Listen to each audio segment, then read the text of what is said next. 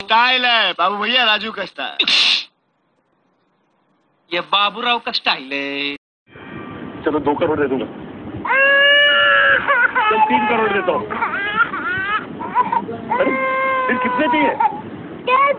दारू सारे पीते हैं हम थोड़ी ज़्यादा पीते हैं।